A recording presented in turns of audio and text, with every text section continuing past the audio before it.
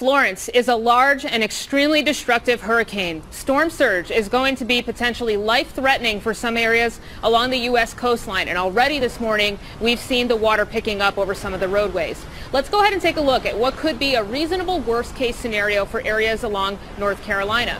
All the way here from Surf City to North Topsail Beach, we could be talking about up to six feet of storm surge. And again, impacts have already begun today with the storm approaching.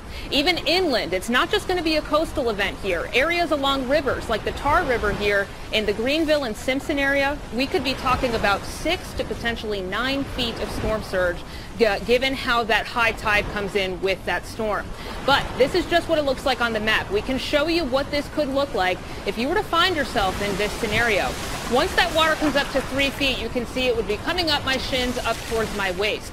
This could be enough to knock you off your feet. It could even float some cars that could be parked on the side of the roadway. This is extremely dangerous, but once we get up into that six foot range, look at how high this water goes. Winds pick everything up. Cars would be floating at this point. This water's over my head. I wouldn't be able to stand here, even withstand the force of the water coming in. There might even be dangers like chemicals and uh, exposed power lines lurking in the waters.